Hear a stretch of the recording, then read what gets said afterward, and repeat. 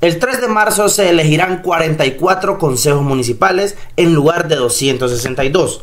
Los actuales municipios serán distritos y formarán a los nuevos 44 municipios. Los distritos conservarán su nombre y solo se les agregará el municipio al que serán incorporados. Los nuevos consejos gobernarán los distritos, a los que se les designará un director o un jefe. En las elecciones participarán 11 partidos políticos y 4 coaliciones. Arena y el FMLN acudirán en solitario. Los nuevos consejos municipales seguirán siendo plurales habrá representación de los partidos con más votos.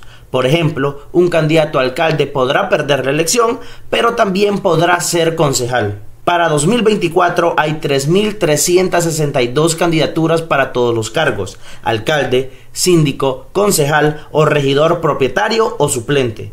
Hay 319 candidaturas para presidir la alcaldía y la sindicatura respectivamente. En total, 40.4% de todas las candidaturas son ocupadas por mujeres. Pero las candidaturas para alcaldesa solo son 18.5%, mientras que para concejalía propietaria 38%.